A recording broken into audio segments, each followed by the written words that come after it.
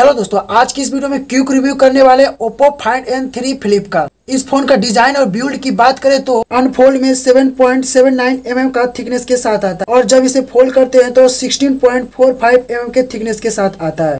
और इसका वेट की बात करें तो 198 ग्राम के साथ आता है। और इस फ़ोन का एक खास बात यह है कि छह लाख बार फोल्ड और अनफोल्ड कर सकते हैं। अगर आप दिन भर में 100 बार फोल्ड और अनफोल्ड करते हैं तो 16 साल तक आप इस फ़ोन को यूज़ कर सकते हैं। और ड्यूल स्पीकर मिल जाता है, और ड्यूल माइक मिलता है, और ड्यूल नैनो सिम यूज़ कर सकते हैं। और अलर्ट स्लाइडर देखने को मिलता है, और साइड फिंगरप्रिंट मिल जाता है, और आई रेटिंग मिलता है। और ये फ़ोन दो कलर के साथ आता है क्रीम गोल्ड और सिल्क ब्लैक डिस्प्ले की बात करें तो इनर डिस्प्ले है 6.8 inch full H D plus AMOLED और 120 ट्वेंटी हर्ट रिफ्रेश रेट के साथ आता है। और 1600 पीक नीट्स ब्राइटनेस है। ब्राइटनेस काफ़ी अच्छा है। H D R ten plus support करता है।